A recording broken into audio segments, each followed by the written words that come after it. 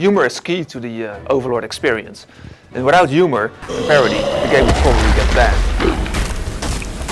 Be gone, you beast, and make it fast! For if you don't, we'll kick your ass! It's great to have uh, Rhianna Pratchett back again to write the story. Humor is something that's often very tricky in games, because often it feels tacked on. Uh, in Overlord we have made sure to fully integrate humor into the game.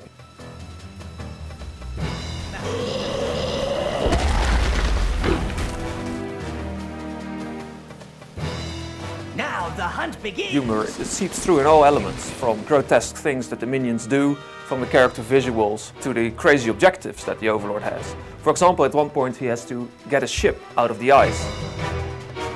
Instead of doing that in a subtle way, you know, he just melts the polar ice caps and creates a massive environmental disaster.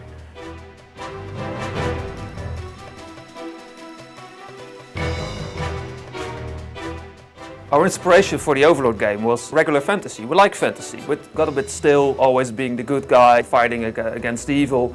So we thought it was a great opportunity to sort of turn things around for once. You are the evil guy and kill those nasty heroes who come after you and rule the world.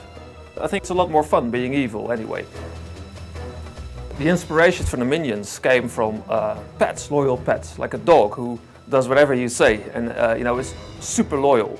But of course we didn't want to have like uh, you know fluffy creatures following the Overlord around, so we made them devilish and uh, imp-like. Thus the Dominions were born.